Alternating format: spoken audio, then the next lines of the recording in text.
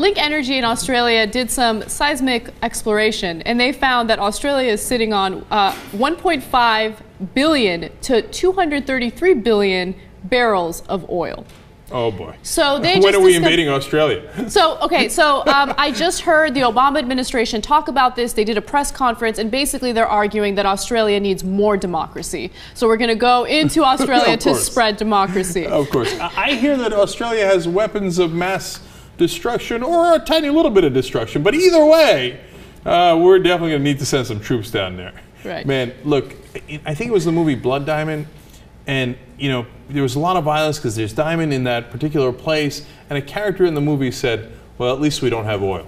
Because if you had oil, boy, then you'd get real violence.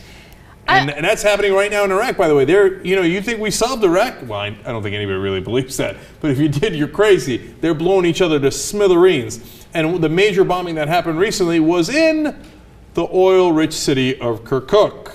Of course, Australians, run for the hills, go to New Zealand, get out of there. I'm a little surprised at how public this information has become. Maybe you should kind of keep it on the down low. And, and of course, Australia is excited about this because they want um, energy independence. Uh, right now, they're a huge importer of oil, and because of this discovery, soon they can be an exporter as well. Um, so it, it will be good for their economy, but it could have disastrous consequences. And I'm just saying that based on you know the numerous other oil-rich countries. They believe that there's about 3.5 to 233 billion barrels of oil, right? Which which John pointed out. There's like a huge like disparity there, right? it's like mm, maybe they haven't discovered exactly what they want to discover, but they said even if it's 3.5 billion barrels of oil, it's still very significant.